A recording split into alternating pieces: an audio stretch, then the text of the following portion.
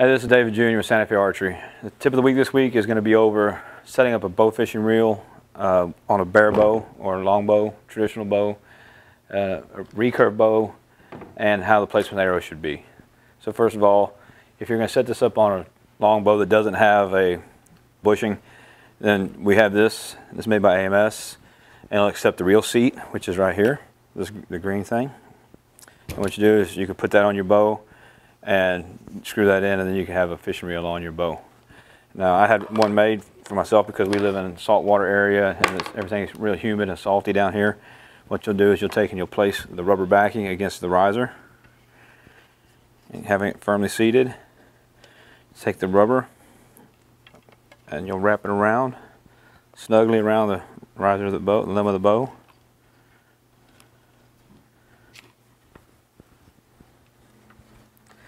You give it two or three wraps, you'll see that it has holes in it where you can put it over the peg.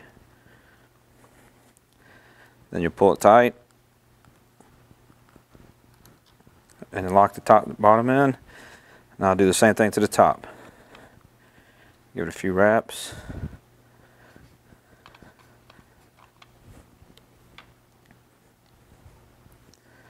Then secure it on the pin. Then all you need to do is take your line out, secure it to your arrow. And in this case, this arrow, you'll notice it has a stopper on the end, so when the, when the slide comes back, it hits the stopper, which allows you to draw in your fish.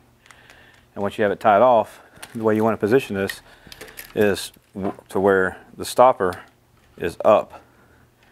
You don't want your stopper coming across your rest and tearing your, your rest seat up.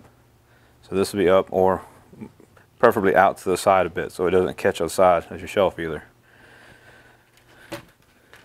Now you could do the same thing with the reel seat on a recurve bow without actually having to, to use the, the modified rubber stopper and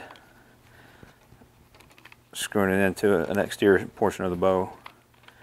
It'll go right into the bushing where the stabilizer would normally mount. And it's the exact same thing that you had with your longbow. You may have to make a little adjustment here and there to make sure it gets, goes on straight.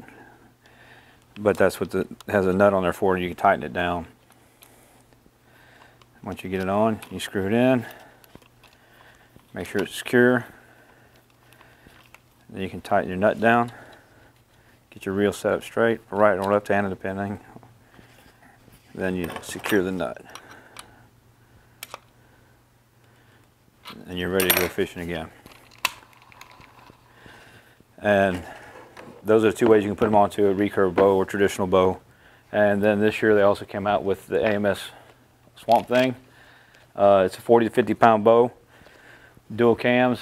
Uh, it's it's uh, ideal for uh, all types of bow fishing. So it has AMS reel on it. So it's easy to set up, easy to retrieve, easy to cast.